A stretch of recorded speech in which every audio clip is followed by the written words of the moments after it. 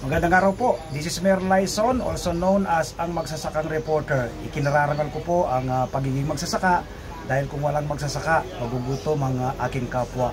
Ikinararangal ko rin po ang uh, pagiging reporter dahil bahagi po ako sa paghahatid ng uh, makabuluhan at sariwang impormasyon sa ating mga kababayan.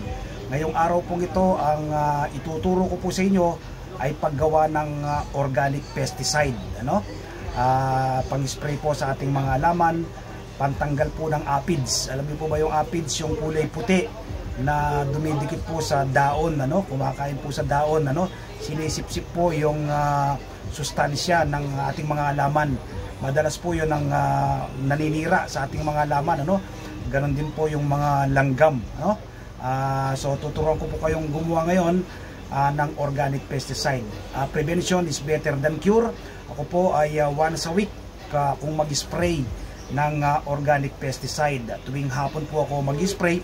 Huwag po kayo mag-spray ng uh, umaga o tanghali dahil uh, posible pong masikatan ng araw yung pag nasikatan po ng araw ang yung alaman ay uh, mainit po uh, yung ating gagamitin posibleng may posibilidad pong masira yung kanyang daon o masunog yung daon ng ating mga laman. Kaya po hapon kung kayo'y uh, pag wala na po yung araw, doon po kayo mag-spray ng organic pesticide na ituturo ko po sa inyo ngayong araw na ito.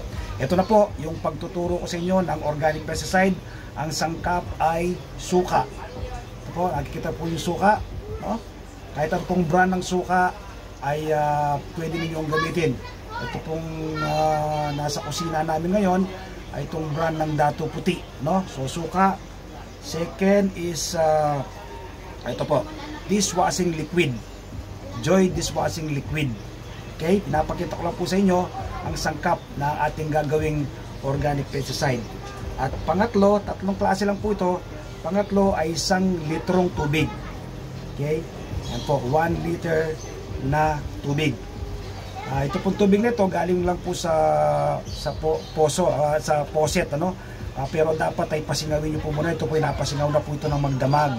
Huwag po kayong uh, maggagamit uh, ng uh, tubig na direktang kinuha ninyo doon sa inyong faucet. Dahil po yung tubig dito sa Metro Manila ay may chlorine. So dapat po pasingawin, pasingawin nyo po muna yon nang sa ganon ay mawala yung kanyang chlorine. Okay? Gagawa, gagawa na po tayo ng uh, organic pesticide. Okay? Kutsara po. Isang kutsarang uh, suka ang ating ilalagay sa 1 liter na tubig. Okay? Buksan ko po yung uh, suka. At takalan po natin. Eto na, tatakalan po natin sa kahit po sumobra ng konti, okay lang po yan, ano?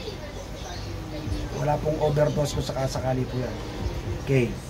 Ito, isang kutsarang suka. Ilalagay ko po sa 1 liter na tubig. Oh, may natapon, ano? Dagdagan ko ng konti po. May natapon eh. Ah, may konting natapon kanina. Ayan. Yan, okay? Yan. Tapos, yung pong uh, dishwashing liquid natin kanina. Apat na patak na dishwashing liquid. Ito po, dishwashing liquid. Apat na patak. One, two, three, 4. Yan. I-shake nyo po ngayon. Takpan nyo po. No? Shake na po ninyo. Bubula po yung ibabaw niyan. Okay. Okay, may bula na po siya. Lagay nyo po ngayon sa inyong pang-spray. Yung pang-spray natin,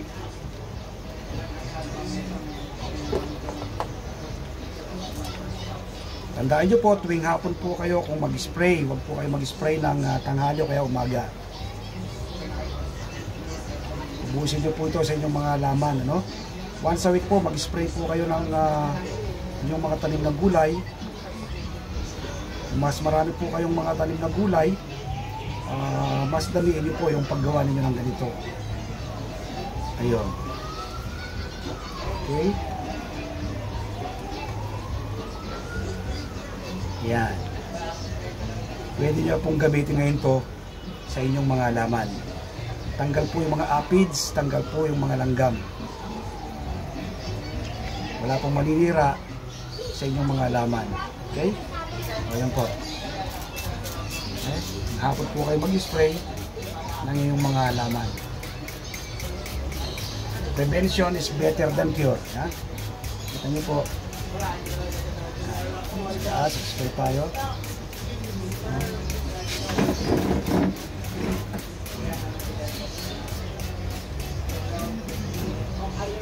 Pwede nyo na pong gamitin yan sa lahat ng uri ng inyong alaman. No? Hapon po kung mag-spray kayo. Uh, ulitin ko po yung sangkap lang natin, yung suka, kahit ano pong uh, brand ng suka na gamitin po ninyo. Pangalawa ay uh, uh, isang kutsara pong suka, no? Dishwashing liquid, uh, tatlong uh, apat na apat na patak, ano? At saka sa isang litrong tubig. Tapos ilagay niyo na po dito, pwede na po kayong mang-spray sa inyong mga laban. Once uh, a week po kung kayo mag-spray dapat dito.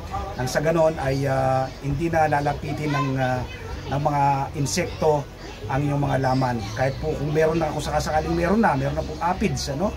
ay uh, yung kulay puti na sinasabi ko sa inyo uh, at saka po langgam matatanggal po sila yung unang pang, uh, yung unang, kung sakasakali pong meron na yung unang spray hindi pa po sila matatanggal eh makukuha pa lang po yan hanggang sa pangalawa or uh, hanggang pangatlo totally pong mawawala na sila tapos tuloy-tuloy po kayo once a, once a week po ay mag-spray kayo nito nang sa ganon ay hindi po sila lalapitan ng anumang insekto ang inyong mga halaman so simpleng-simple lang po ang uh, ginawa nating uh, pang-spray. Kung gusto niyo pong mas uh, gaganda pa yan, ano?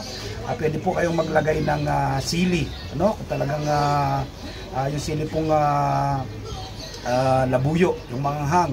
O kaya naman po uh, bawang uh, at uh, sibuyas. Pwede niyo pong uh, kantarin, ano, ano po ng konti, uh, pitpitin ninyo at yung pong uh, katasnan. Pero ito po, effective na eh. Ito pong tatlo lang to effective na. Uh, subok na subok ko na po yan. Yung pong uh, yung mga aphids wala pong lumalapit sa aking mga halaman kapag po uh, nag-spray ako niyan. Uh, nung nakaraan talaga nagsinadya kong uh, hindi kagad display na no dinocuments ko yung isa ko sa nasa ilalim ng uh, sa second floor ng aming bahay kaya sinadya kong uh, palapitan ng uh, aphids tapos po in-spray ko nito so napaka-effective po subok na subok na po ito ng magsasakang reporter 7 years ko na po itong ginagawa at isa po yan sa aking pamamaraan na pinang-spray. Pero pag marami ang plantation po, ay gumagawa ko OHN, ano? Oriental Herbal Nutrients. Diyan po yun po yung ginagamit ko sa aking farm sa Pampanga sa aking soybean plantation. Pero pag mga ganito po ay nasa ano ka lang urban gardening, ito lang po, ah, suka, ah, isang uh, kutsarang suka, at uh, tatlong patak na dishwashing liquid o apat na patak na dishwashing liquid sa 1 liter 1 liter na tubig. Pwede nyo na pong uh, gamitin yan na pang spray sa ating mga laman. So sana po nakapag uh, ako ng kaalaman ano uh, sa ating mga tagapanood, tagapanood kung uh, may na-share po ako, follow nyo po ako sa aking magsasakang uh, sa aking YouTube channel, ang magsasakang reporter ng sa ganon. Ang mga susunod na tutorial ko ay uh, mapapanood po ninyo, makapagbigay sa inyo ng impormasyon sa mga tanim ninyong uh, halaman na tulad ng ganito na urban gardening in a plastic bottle. So follow nyo po ako sa aking YouTube channel, ang Magsasaka Reporter. Subscribe po kayo at uh, i-share nyo po itong aking, uh, aking live tutorial ito. Nang sa ganun ay marami tayong mga kababayan na matulungan na paggawa ng organic uh, pesticide. Ano? Simpleng-simple lang po. Ang uh, ginawa ko, kung makita nyo po kanina, ang sangkap lang po ay uh, tatlo. Ano? Yung, uh, yung uh, tubig natin. Tapos sa uh, suka at uh, dis joy dishwashing liquid. So magtanim po tayo. Ang pamagsak reporter po ay patuloy na nagikayat ng uh, Green Revolution. Revolution na uh, magtanim po tayo ng green leafy vegetable. Magtanim po tayo ng iba't uri ng gulay, nang sa ganoon ay hindi po tayo maging apektado ng uh, kagutuman dahil sa kinakarap nating uh, crisis na COVID-19. So magandang araw po sa inyong lahat at ah, nawa po ay ah, nakatulong ako sa inyo sa inyong ah, pag, ah, pagtatanim ng iba't ibang uri ng ah, halaman. Magandang araw po. God bless us all.